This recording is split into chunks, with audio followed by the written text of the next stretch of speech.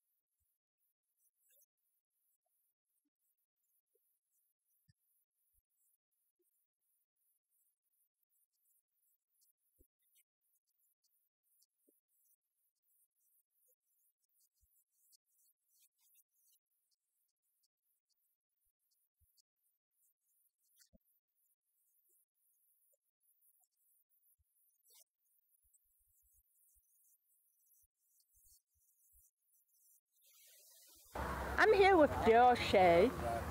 He's a former tribal council member with the Shosh Band tribe.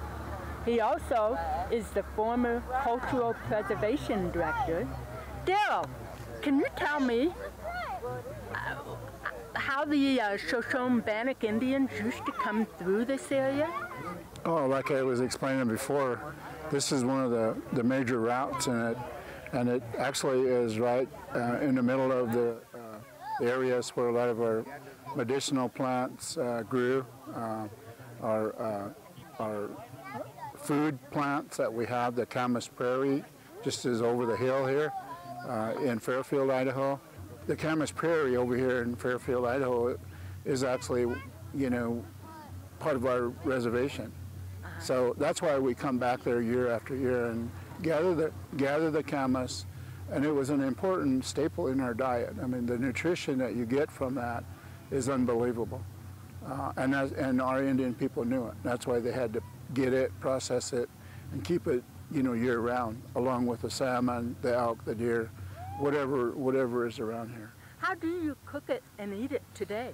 Oh, yeah, it's a long process. You, uh, you have to uh, uh bury it in the ground and uh, roast it that way. Mm -hmm. It's a natural oven, you know, and, and our people must have experimented with it for years and years and finally fig figured out how to do it. There's a, a few other tribes that also uh, gather the camas and eat it.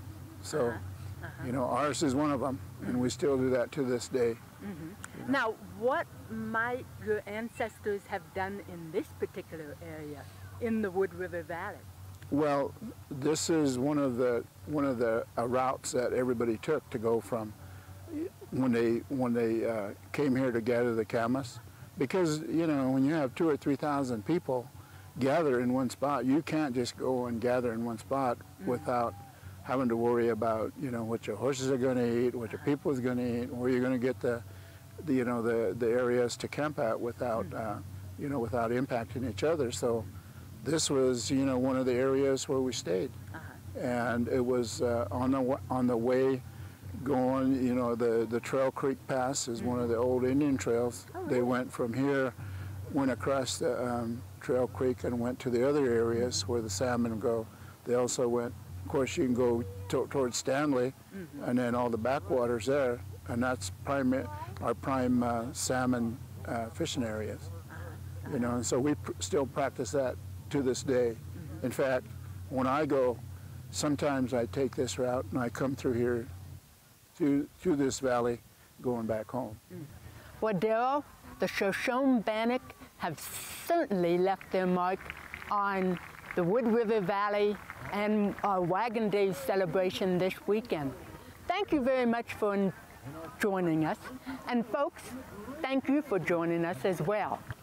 I'm Karen Bossick with Eye on Sun Valley. And until next time, I'm keeping my eye on Sun Valley for you. Eye on Sun Valley, daily local news from beautiful Sun Valley, Idaho.